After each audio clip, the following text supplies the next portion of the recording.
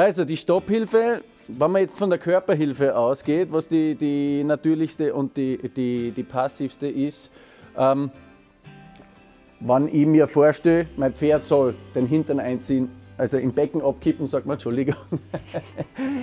Das Pferd soll im Becken abkippen und die Hinterhand drunter setzen, werde ich im Sattel genau das gleiche machen. Okay?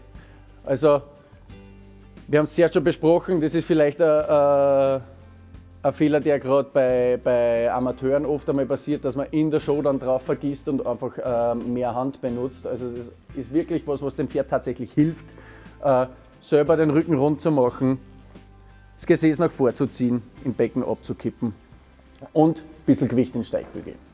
Ich bin kein großer Freund davon, die, die, die Beine auszustrecken und, und äh, äh, fast bis zum Pferdemaul zu gehen, aber du sollst doch äh, die Fliehkraft so weit überwinden können mit den Beinen. auch.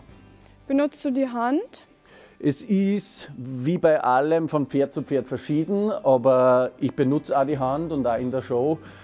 Dabei wäre es gut, wenn man die Sitz- und Stimmhilfe schon gegeben hat und einen Bruchteil einer Sekunden später mit der Hand erst kommt, damit man das Pferd nicht überrascht zu sehr mit der Hand, weil es da auch unschöne Bilder geben kann.